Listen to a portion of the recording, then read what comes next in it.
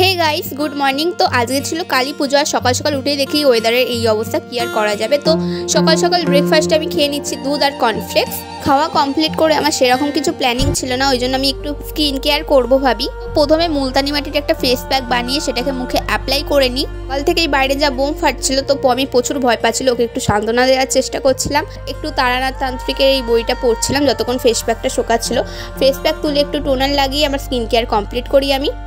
তারপর একটু হালকা মেকআপ করে নিই। কেমন লাগছে আমাকে বলো কমেন্টে তারপর আমি চলে যাই সন্ধে দিতে। দেখতেই পাচ্ছ আমি সন্ধে দিয়ে দিয়েছি। আর এই মাটির পঞ্চপ্রদীপটা দেখো কি কিউট লাগছে, কি দারুণ লাগছে।